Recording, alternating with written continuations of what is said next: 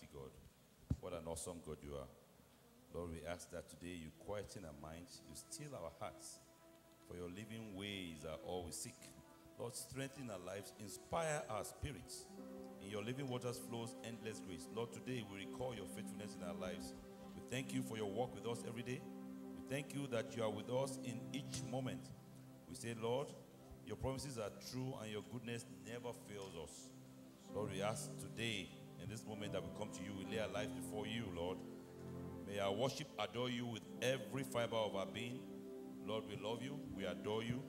We magnify your name. Lord, you are precious. There's none like you. You alone are worthy.